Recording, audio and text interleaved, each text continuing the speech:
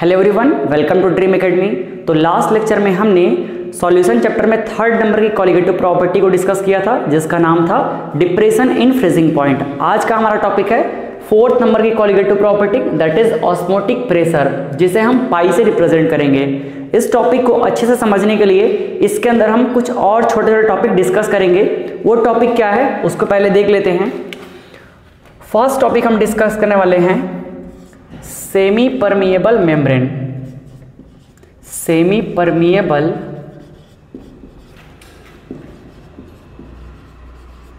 membrane जिसे हम short में कहेंगे S P M second topic हम डिस्कस करेंगे ऑस्मोसिस और थर्ड टॉपिक होगा reverse osmosis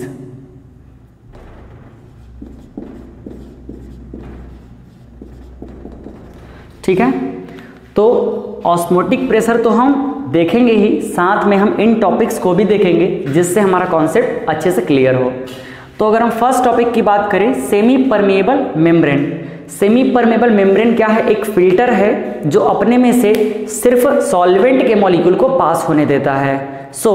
semi permeable membrane is a membrane which allow to pass only solvent molecule अब ऐसे फिल्टर जो सिर्फ सॉल्वेंट के मॉलिक्यूल को पास होने देते हैं इसके रिक्वायरमेंट हमें क्यों है अभी ये अभी एक डायग्राम से हम समझते हैं और उसके कॉन्सेप्ट को अच्छे तरीके से क्लियर करते हैं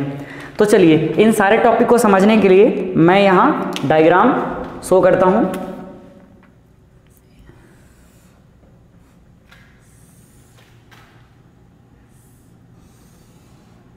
ये मैंने कंटेनर ले लिया इस कंटेनर के अंदर इस कंटेनर के अंदर हम एक सेमी परमिएबल मेम्ब्रेन इस तरह से सेट करते हैं ठीक है इस सेमी परमिएबल मेम्ब्रेन के थ्रू हम दो टाइप के लिक्विड को सेपरेट करने वाले हैं अब ऐसे ही मुझे दो और डायग्राम की रिक्वायरमेंट होगी तो उसे मैं अभी से ड्रॉ कर लेता हूं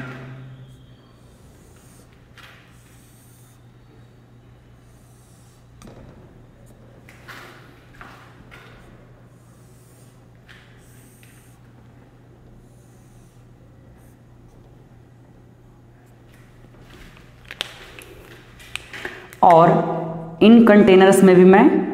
सेमी परमेबल मेम्ब्रेन इस तरह से सेट कर दिया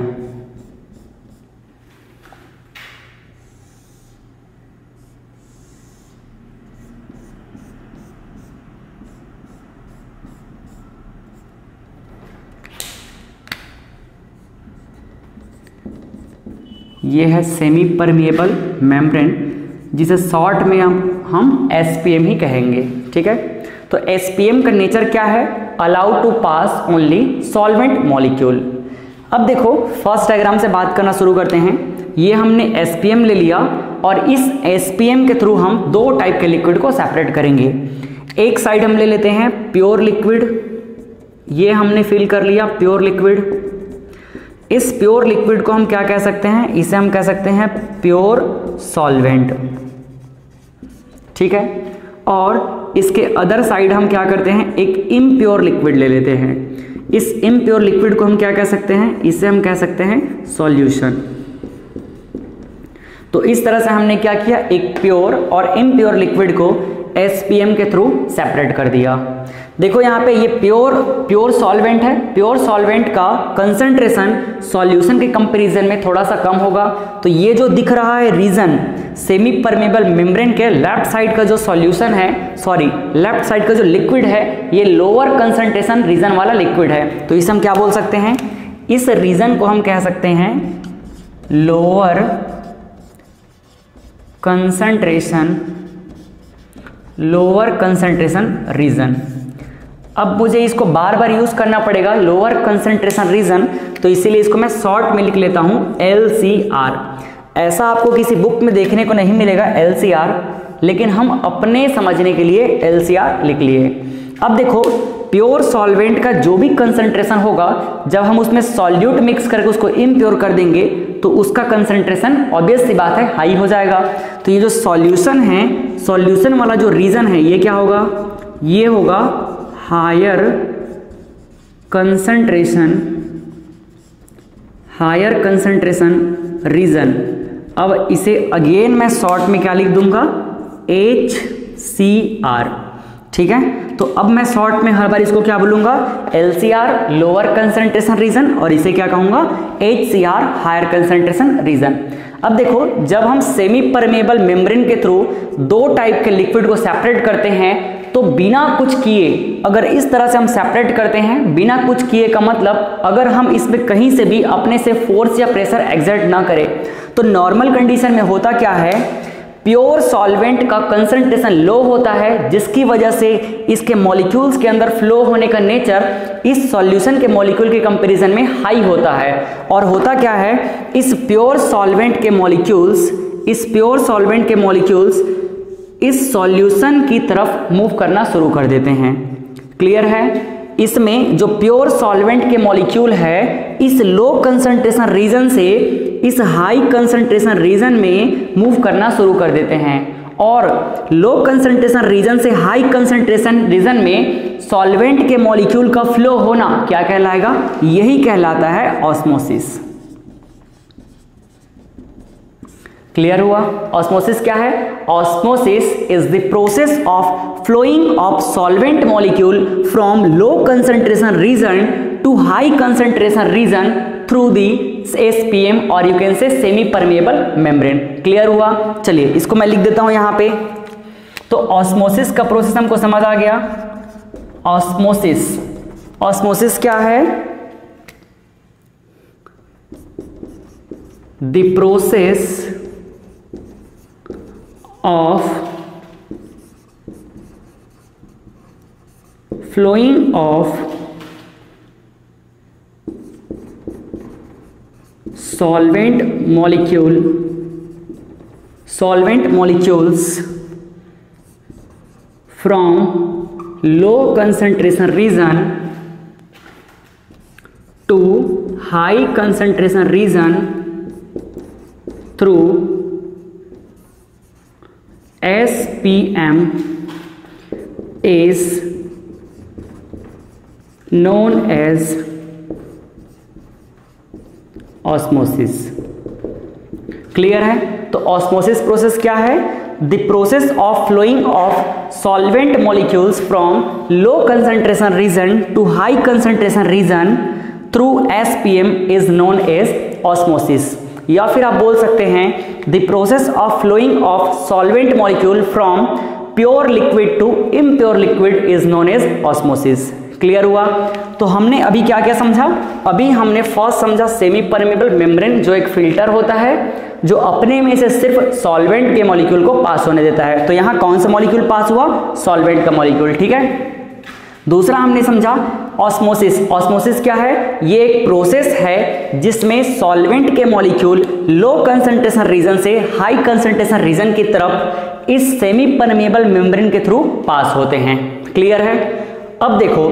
अब यहाँ पर होगा क्या जब यहाँ से प्योर सॉल्वेंट से मॉलिक्यूल इम्प्योर सॉल्वेंट मतलब लो कंसेंट्रेशन रीजन से हाई कंसेंट्रेशन रीजन की तरफ मॉलिक्यूल्स फ्लो होना शुरू होंगे तो ऑब्वियस सी बात है इसका जो लेवल है थोड़ा सा इंक्रीज हो जाएगा क्लियर है अब लेवल इंक्रीज होने के बाद का यहाँ मैं डायग्राम शो करता हूँ देखो यहाँ पर थोड़ा सा लेवल मैं कम कर देता हूँ ठीक और इधर का लेवल मैं थोड़ा सा इस तरह से हाई कर दिया अभी भी देखो अभी भी ये वही चीज है इस तरफ क्या है प्योर सॉल्वेंट है और इस तरफ क्या है सॉल्यूशन है ये जो प्योर सॉल्वेंट है ये किस तरह का है ये है लो कंसेंट्रेशन रीजन वाला है और ये कैसा है हाई कंसेंट्रेशन रीजन वाला है क्लियर है अभी हमने देखा नॉर्मल कंडीशन में लो कंसंट्रेशन रीजन से सॉल्वेंट के मॉलिक्यूल हाई कंसेंट्रेशन रीजन की तरफ मूव किए अब मूव करने से इसका लेवल बढ़ गया अब हम चाहते हैं कि ये जो प्रोसेस है रुक जाए हम इस फ्लो को रोकना चाहते हैं तो इस फ्लो को रोकने के लिए हम क्या करेंगे यहाँ पर एक एक्सटर्नल प्रेशर अप्लाई करेंगे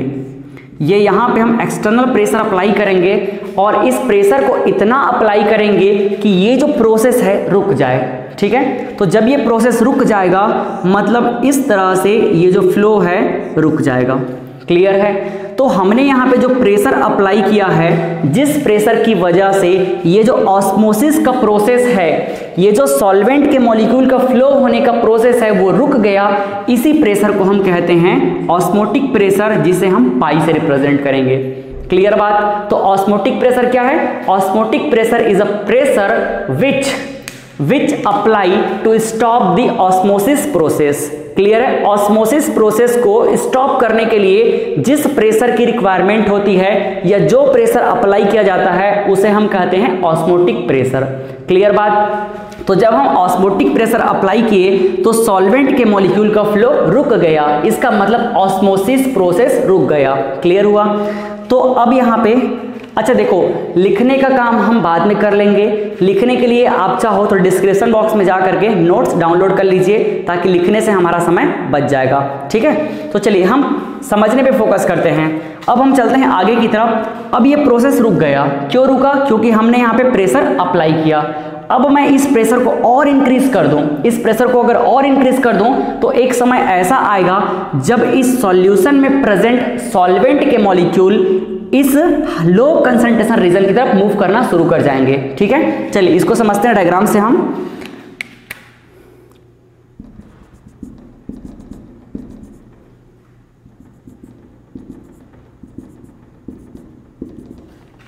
अब देखो हम क्या करेंगे जितना भी प्रेशर हम अप्लाई कर रहे थे उससे अब हम कहीं ज़्यादा प्रेशर अप्लाई करेंगे मतलब अब जो प्रेशर होगा इसको मैं न्यू प्रेशर कह देता हूँ पी डेस और ये जो पी डेस प्रेशर होगा ये होगा higher than P or you can say pi ठीक है तो अब जो हम नया प्रेशर अप्लाई कर रहे हैं पी पी डेस ये क्या होगा पाई से ज्यादा होगा ऑस्मोटिक प्रेशर से जब ज्यादा प्रेशर अप्लाई करेंगे यहां पे लिख देता मैं अब हम जो प्रेशर अप्लाई कर रहे हैं ये क्या है पी डेस तो जब हम पी डेस प्रेशर अप्लाई कर रहे हैं मतलब ऑस्मोटिक प्रेशर से ज़्यादा प्रेशर अप्लाई कर रहे हैं तो अब होगा क्या यहां से मॉलिक्यूल इधर फ्लो होना शुरू हो जाएंगे कुछ इस तरह से ये देखो अब हायर कंसंट्रेशन रीजन से जो मॉलिक्यूल्स है लोअर कंसंट्रेशन रीजन में फ्लो होने शुरू हो गए तो इस प्रोसेस को हम क्या कहेंगे रिवर्स ऑस्मोसिस ये जो प्रोसेस है क्या कहलाएगा ये प्रोसेस कहलाएगा रिवर्स ऑस्मोसिस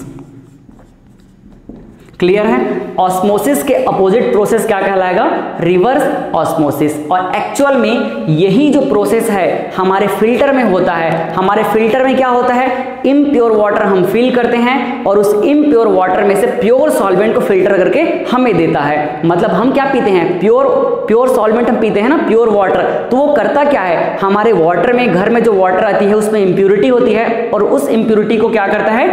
ये ऑस्मोटिक प्रेशर से ज्यादा प्रेशर अप्लाई करता है फिल्टर और क्या करेगा वो जो है इससे प्योर वाटर निकाल करके हमको देता है ठीक है तो चलिए फिर से समझते हैं रिवर्स ऑस्मोसिस प्रोसेस क्या है reverse osmosis process is the process in which solvent molecule flow from high concentration region to low concentration region अभी भी ये क्या है अभी भी ये प्योर सॉल्वेंट है क्या है ये प्योर सॉल्वेंट है और ये क्या है सॉल्यूशन है ठीक है ये प्योर सॉल्वेंट है इसका मतलब ये लो कंसंट्रेशन रीजन है और सॉल्यूशन का मतलब ये हाई कंसंट्रेशन रीजन है तो सॉल्वेंट के मॉलिक्यूल का हाई कंसंट्रेशन रीजन से सेमी परमेबल मेम्ब्रेन के थ्रू लो कंसंट्रेशन रीजन में फ्लो होना क्या कहलाएगा रिवर्स ऑस्मोसिस कहलाएगा और ये प्रोसेस कब पॉसिबल है जब हम इस सॉल्यूशन पे ऑस्मोटिक प्रेशर से ज़्यादा प्रेशर अप्लाई करेंगे क्लियर है तो इस तरह से हमने ऑल टॉपिक को क्लियर कर लिया पहले हमने क्या देखा सेमी परमेबल मेम्ब्रेन फिर हमने ऑस्मोसिस देखा फिर हमने ऑस्मोटिक प्रेशर पढ़ा और फिर लास्ट में हमने क्या देख लिया रिवर्स ऑस्मोसिस देखा चलिए मैं शॉर्ट में फिर से रिवाइज करता हूँ एक बार सेमी परमेबल मेम्ब्रेन क्या है ये एक फिल्टर है या मेम्ब्रेन है जो अपने में से सिर्फ सॉल्वेंट के मॉलिक्यूल को पास होने देता है ठीक है अगर ये सॉल्वेंट के मॉलिक्यूल के साथ साथ सॉल्यूट के मॉलिक्यूल को पास होने देता तो क्या होता इस रिवर्स ऑस्मोसिस प्रोसेस में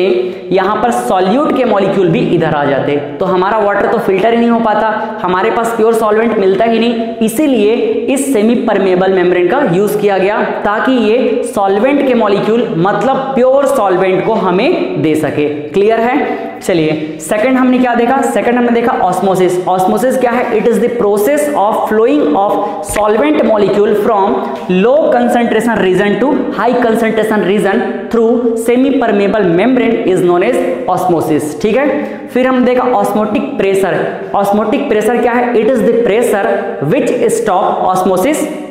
or you can say it is the pressure which stop the osmosis process clear है नेक्स्ट हमने देखा अच्छा इस ऑस्मोटिक प्रेशर को हमने किससे रिप्रेजेंट किया इसे रिप्रेजेंट किया हमने पाई से ठीक है अब देखो फिर हमने देखा रिवर्स ऑस्मोसिस रिवर्स ऑस्मोसिस क्या है जब हम इस सॉल्यूशन के साइड में ऑस्मोटिक प्रेशर से भी ज़्यादा प्रेशर अप्लाई कर दे तो क्या होगा इस सॉल्यूशन में प्रेजेंट सॉल्वेंट के मॉलिक्यूल सॉल्यूशन से निकल करके प्योर सॉल्वेंट में आ जाएंगे और इस प्रोसेस को हम कहेंगे रिवर्स ऑस्मोसिस या शॉर्ट में इसी को हम कहते हैं आर ठीक तो आपके घर में जो आर लगा होता है उसका एक्चुअल मतलब क्या है रिवर्स ऑस्मोसिस सो so, इसे हम कैसे डिफाइन करेंगे it is the process of flowing of solvent molecule from higher concentration region to lower concentration region through semi permeable membrane clear हुआ अब देखो अब हमारा जो अगला टॉपिक बनने वाला है इस ऑस्मोटिक प्रेशर के थ्रू हम कुछ कैलकुलेशन करने वाले हैं मोलर मास की स्टडी करने वाले हैं जो हमारे लिए न्यूमेरिकल पॉइंट ऑफ व्यू से काफ़ी इंपॉर्टेंट है तो आप इसको नोट कीजिए और डाउनलोड कर लीजिए नोट्स कहां से डिस्क्रिप्शन बॉक्स में ठीक है लेकिन कब लास्ट में जब हम पूरा इस वीडियो को अच्छे से पढ़ लेंगे तब तो नोट्स की कोई टेंशन नहीं लेनी है चलिए इसको नोट कर लीजिए आप अब हम देखने वाले हैं कुछ कैलकुलेशन ऑस्मोटिक प्रेशर पे बेस्ड तो इसे हम अलग अलग टॉपिक से देख सकते हैं इसे मैं कुछ टॉपिक डिफाइन करता हूं determination of determination of molar mass from osmotic pressure जिसे हम पाई से रिप्रेजेंट करेंगे या फिर इसी टॉपिक के अंदर हम देखने वाले हैं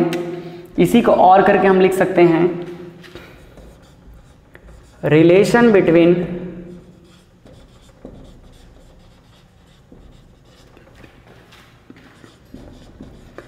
osmotic pressure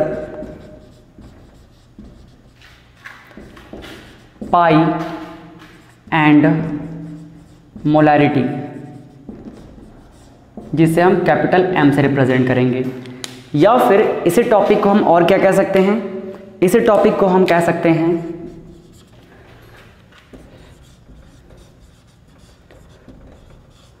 relation between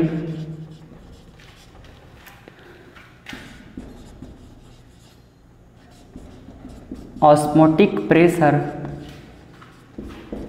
pi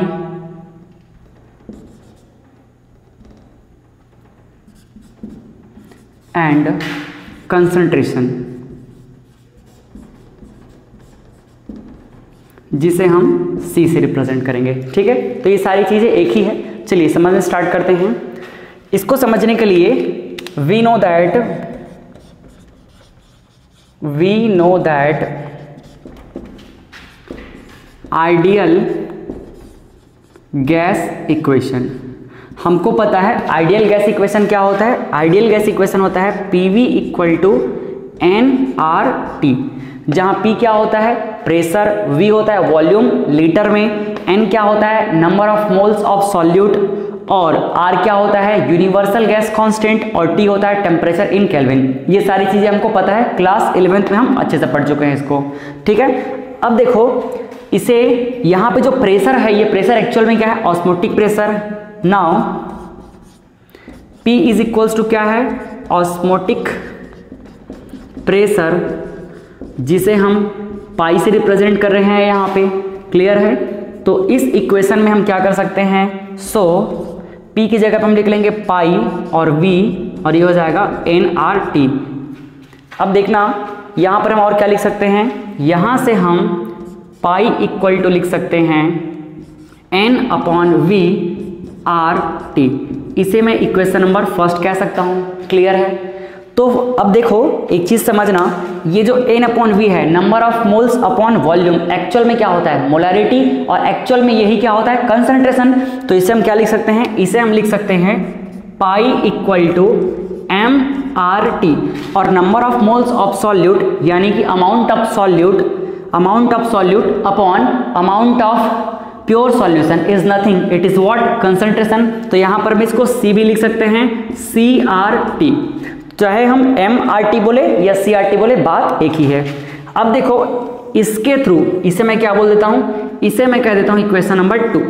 अब इस इक्वेशन नंबर टू के थ्रू अगर हम देखें तो पाई को हम एम से रिलेट कर सकते हैं और पाई को कंसंट्रेशन सी से रिलेट कर सकते हैं ठीक है तो from equation number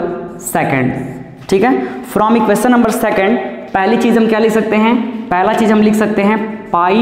is proportional to M लिख सकते हैं क्यों आर तो कांस्टेंट है और टी भी कांस्टेंट है आर की वैल्यू फिक्स है आर की वैल्यू कभी मैं आगे बताने वाला हूं आपको और टी की वैल्यू भी फिक्स है जिस टेम्परेचर पे हम बात करेंगे तो टेम्परेचर फिक्स हो जाएगा तो यहां पर पाई किस पर डिपेंड करेगा एम पे और यहां पे पाई किस पर डिपेंड करेगा सी पे तो यहां पर हम और क्या लिख सकते हैं और pi is proportional to C तो ये हमने दोनों ही टॉपिक ये दोनों टॉपिक एक साथ देख लिया मोलरिटी का ऑस्मोटिक प्रेशर से कैसा रिलेशन होगा मोलरिटी से इसका रिलेशन डायरेक्टली प्रपोजनल का होगा और मोलरिटी से कंसंट्रेशन का भी रिलेशन कैसा है डायरेक्टली प्रपोजनल का ठीक है बट हमें आगे पहुंचना है कहां पे हमको आगे कैलकुलेट करना है मोलर मास क्लियर है तो मोलर मास कैलकुलेट करने के लिए हम चलते हैं इक्वेशन नंबर फर्स्ट से तो देखो क्या करेंगे हम from equation number first from equation first क्या लिख सकते हैं हम इसको pi is equals to pi is equals to N upon V R T तो यहां पर जो एन है एक्चुअल में क्या है नंबर ऑफ मोल्स जिसे हम वेट अपॉन मोलर मास लिख सकते हैं तो ये हो जाएगा weight of solute into R into T upon यहाँ पर क्या हो जाएगा molar mass weight upon molar mass number of moles की वजह से और यहाँ पर क्या हो जाएगा वॉल्यूम और ये वॉल्यूम एक्चुअल में होता किस में है लीटर में तो इस तरह से हमें क्या मिल गया इस तरह से हमें मिल गया pi is equals to W R T upon M T into V L अगर हम यहाँ से मोलर मास की वैल्यू कैलकुलेट करना चाहते हैं तो इसे हम और क्या लिख सकते हैं और देखिए यहीं पे आगे लिख लेता हूं मैं और इसे हम क्या लिख सकते हैं एम टी इक्वल टू हो जाएगा डब्ल्यू आर टी अपॉन ये हो जाएगा pi into V L clear है तो अगर आपको ऑस्मोटिक प्रेशर के टर्म्स में इक्वेशन को रखना है तो आप इसको रख लीजिए और अगर आपको मोलर मास कैलकुलेट करना है तो आप इसको रख लीजिए इस फॉर्मूले के थ्रू आपको अलग अलग वैरायटी के क्वेश्चन पूछे जाते हैं किसी क्वेश्चन में हो सकता है आपको ऑस्मोटिक प्रेशर पूछ दिया जाए किसी क्वेश्चन में हो सकता है सॉल्यूट का अमाउंट पूछ दिया जाए या किसी क्वेश्चन में सॉल्यूट का मोलर मास पूछ दिया जाए तो ये सारी पॉसिबिलिटी है ठीक है अब एक चीज़ और ये जो आर क्या है आर है यूनिवर्सल गैस कांस्टेंट जिसकी वैल्यू आप पहले से जानते हैं क्लास इलेवन से बट मैं यहाँ पे रिवाइज करा देता हूँ तो आर की वैल्यू क्या होती है आर की वैल्यू प्रेशर के अलग अलग यूनिट में अलग अलग होती है तो देखिए क्या क्या यूज़ करते हैं हम लोग zero point zero eight three one ये होगा bar litre mole inverse kelvin inverse ये है फर्स्ट वैल्यू 0.0831 कब जब प्रेशर किस में है बार में है ठीक है अब देखो अगर हम इसको पास्कल में कर दें या एटीएम में कर दें तो क्या होगा तो एटीएम में क्या होगा देखो एटीएम में इसकी वैल्यू होगी 0.082 ATM litre mole inverse kelvin inverse ठीक है यहाँ पे आप चाहो तो वन भी ऐड कर सकते हो ठीक है तो बार में और एटीएम में सिर्फ डिफरेंस क्या है यहाँ पे थ्री है और यहाँ पे टू है अब कुछ कुछ क्वेश्चन में ये पास्कल में भी यूज होता है तो पास्कल का आपको कॉन्सेप्ट पता होना चाहिए one bar equal to ten to the power five pascal ठीक है तो अगर हम यहाँ पे देखो शॉर्ट में इधर मैं करता हूँ नीचे लिख देता हूँ मैं one bar equal to ten to the power five pascal होता है तो यहां पे अगर हम ten to the power five का मल्टीप्लाई कर दें तो क्या हो जाएगा zero point zero point eight three one direct multiply करके लिखता हूं मैं ये हो जाएगा eight point three one into ten to the power three और ये हो जाएगा pascal litre mole inverse kelvin inverse तो ये आर के डिफरेंट डिफरेंट वैल्यू है अलग अलग यूनिट में तो मैं आपको सजेस्ट करूंगा आप मेमोराइज कर लीजिए किसको इस बार वाले को और इस यूनिट वाले को और बाकी आपको ये रिलेशन तो पता होना ही चाहिए जिससे आप आसानी से कैलकुलेट कर पाओ वैसे ये रिलेशन कई अलग अलग जगहों पर यूज़ होता है तो आपको तो याद होना ही चाहिए one bar equal to ten to the power five कल ठीक है तो इस तरह से हमने ऑस्मोटिक प्रेशर का कैलकुलेशन देख लिया ऑस्मोटिक प्रेशर के बेस पे हमने जो सॉल्यूट है उसका मोलर मास का कैलकुलेशन देख लिया हमने यहाँ पे और क्या देखा relation between osmotic pressure and molarity देखा साथ ही हमने देखा relation between osmotic pressure and concentration देखा ठीक है अब हम थ्री और इंपॉर्टेंट सॉल्यूशन के टर्म्स को देखने वाले हैं उससे पहले आप इसको फटाक से नोट कर लीजिए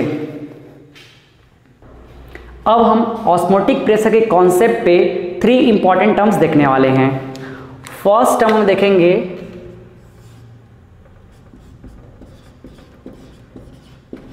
आइसोटोनिक सॉल्यूशन सेकंड हम देखेंगे हाइपरटोनिक सॉल्यूशन और थर्ड हम देखने वाले हैं हाइपोटोनिक सॉल्यूशन ठीक है इन तीनों को समझने के लिए हम एक एग्जाम्पल लेते हैं ये हमने ले लिया एक कंटेनर और इस कंटेनर के थ्रू हम दो टाइप के सॉल्यूशन को सेपरेट कर लेते हैं और बीच में हम अपने समझने के लिए क्या लगा लेते हैं एक सेमी परमिएबल मेम्ब्रेन ठीक है ये हमने फिल कर लिया सॉल्यूशन वन और इसके अंदर हम फिल कर लिए सॉल्यूशन टू इसे मैं कह देता हूँ सॉल्यूशन ए और इसे हम क्या कह लेते हैं सॉल्यूशन बी ठीक है तो ये है ए और ये क्या है बी और इन दोनों को हमने सेपरेट कर लिया है किसके थ्रू सेमी परमिएबल मेम्ब्रेन के थ्रू अच्छे समझिएगा एक बार में आपको पूरा ये क्लियर हो जाएगा अब देखिए इस सॉल्यूशन के ऊपर अप्लाई होने वाला ऑस्मोटिक प्रेशर हमने एज्यूम कर लिया पाई ए और इस सॉल्यूशन पे अप्लाई होने वाला ऑस्मोटिक प्रेशर हमने एज्यूम कर लिया पाई बी क्लियर है हमको ये नहीं पता कि कौन से सॉल्यूशन का कंसंट्रेशन कम है या ज़्यादा है कुछ भी हमको नहीं पता हमको बस इतना पता है कि ये दो अलग अलग सॉल्यूशन हैं इसका ऑस्मोटिक प्रेशर पाई ए है और इसका ऑस्मोटिक प्रेशर पाई बी है अब देखो कंडीशन समझिएगा first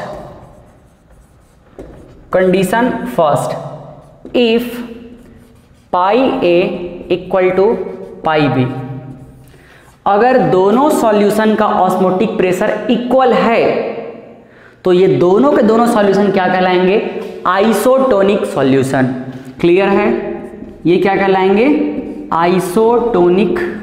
solution. So isotonic solution are solution which have same osmotic pressure. Clear है ऐसे सॉल्यूशन जिनका ऑस्मोटिक प्रेशर सेम होता है उसे हम क्या कहेंगे आइसोटोनिक सॉल्यूशन बहुत इंपॉर्टेंट है दोनों का ऑस्मोटिक प्रेशर इक्वल हो गया इस कॉन्सेप्ट के बेस पे आपको न्यूमेरिकल भी सॉल्व करना होगा आगे इस पे न्यूमेरिकल भी देखने को मिलते हैं और अच्छे अच्छे क्वेश्चन फ्रेम होते हैं तो इसको माइंड में रखिएगा आइसोटोनिक सोल्यूशन का मतलब होता है दोनों सोल्यूशन का ऑस्मोटिक प्रेशर इक्वल है क्लियर है अब देखो कंडीशन नंबर टू एज्यूम करते हैं कंडीशन नंबर टू में हमने एज्यूम कर लिया if pi A is greater than pi B ठीक है अब हमने एज्यूम कर लिया कि जो ए वाला सॉल्यूशन है इसका ऑस्मोटिक प्रेशर बी से ज़्यादा है तो जब दोनों के ऑस्मोटिक प्रेशर में डिफरेंस है तो जिसका ऑस्मोटिक प्रेशर ज़्यादा है किसका ज़्यादा है ए का ए का ज़्यादा है ना तो इस ए को हम क्या कहेंगे इस ए को हम कहेंगे हाइपरटोनिक हाइपरटोनिक सॉल्यूशन क्लियर है जिस सॉल्यूशन का ऑस्मोटिक प्रेशर ज़्यादा है उसे हम कहेंगे hypertonic solution so hypertonic solution are the solution which have higher osmotic pressure और you can say more osmotic pressure as compare to other solution that is B अब बी का जो ऑस्मोटिक प्रेशर है ये क्या है कम है तो इस बी को हम क्या कहेंगे इसे हम कहेंगे हाइपोटोनिक क्या कहेंगे इसे हम हाइपोटोनिक सॉल्यूशन क्लियर है तो हाइपोटोनिक सॉल्यूशन क्या है hypotonic solutions are the solution which have less osmotic pressure as compare to other solution clear है हाइपरटोनिक सॉल्यूशन का मतलब क्या है जिसका ऑस्मोटिक प्रेशर क्या है मोर है और हाइपोटोनिक का मतलब है जिसका ऑस्मोटिक प्रेशर लेस है क्लियर है अगर मैं थर्ड कंडीशन एज्यूम करूं उल्टा कर दूं वैसे आपको यहां से क्लियर हो चुका है लेकिन फिर भी मैं एक थर्ड कंडीशन एज्यूम कर लेता हूं condition number third if pi A is less than pi B ठीक है अब अब हमने जूम कर लिया कि जो बी सॉल्यूशन है इस बी सॉल्यूशन का ऑस्मोटिक प्रेशर क्या हो गया हाई हो गया ज़्यादा हो गया तो अब क्या होगा यहां पर ए जो है जिसका ऑस्मोटिक प्रेशर कम हो चुका है क्या हो चुका है लेस हो चुका है इसे अब हम क्या कहेंगे इसे हम कहेंगे हाइपोटोनिक सॉल्यूशन क्या कहेंगे इसे हम हाइपोटोनिक सॉल्यूशन जिसका ऑस्मोटिक प्रेशर कम है उसे हम कहेंगे हाइपोटोनिक सॉल्यूशन और ये जो हमारे पास बी सॉल्यूशन है जिसका ऑस्मोटिक प्रेशर मोर है ज़्यादा है इसे हम क्या कहेंगे इसे हम कहेंगे हाइपरटोनिक सॉल्यूशन क्लियर है तो इस तरह से हमने तीनों कंडीशन को समझ लिया हाइपोटोनिक हाइपरटोनिक और आइसोटोनिक क्लियर है आइसोटोनिक सॉल्यूशन क्या है ऐसे सॉल्यूशन जिनका वेप जिनका ऑस्मोटिक प्रेशर सेम होता है उसे हम कहेंगे आइसोटोनिक सॉल्यूशन हाइपरटोनिक सॉल्यूशन क्या है ऐसे सॉल्यूशन जिसका ऑस्मोटिक प्रेशर दूसरे सॉल्यूशन के कंपेरिजन में ज़्यादा होता है और हाइपोटोनिक सॉल्यूशन क्या है ऐसे सॉल्यूशन जिसका ऑस्मोटिक प्रेशर दूसरे सॉल्यूशन के कंपैरिजन में लेस होता है कम होता है क्लियर है तो ये तीनों कॉन्सेप्ट आप याद रखिएगा इस कॉन्सेप्ट पे क्वेश्चन भी पूछे जा सकते हैं और स्पेशली आइसोटोनिक पे तो न्यूमेरिकल फॉर्म होते ही होते हैं तो आइसोटोनिक कंडीशन का मतलब ध्यान में रखिएगा जहां पर दोनों सॉल्यूशन के ऑस्मोटिक प्रेशर इक्वल हो तो इस तरह से हमने ऑस्मोटिक प्रेशर के कॉन्सेप्ट को कंप्लीटली फिनिश कर लिया और साथ ही फोर क्वालिगेटिव प्रॉपर्टी भी हमने फिनिश कर लिए अब अगर हम रिड्यूस सिलेबस के अकॉर्डिंग बात करें तो हमारा सारा टॉपिक कवर हो चुका है अब हमको अच्छे अच्छे न्यूमेरिकल सॉल्व करने हैं तो सारे टॉपिक के हम न्यूमेरिकल देखेंगे और साथ में हम कुछ जे डबल और नीट के भी क्वेश्चन सॉल्व करेंगे तो थैंक यू वॉच करने के लिए चलिए आगे हम देखेंगे न्यूमेरिकल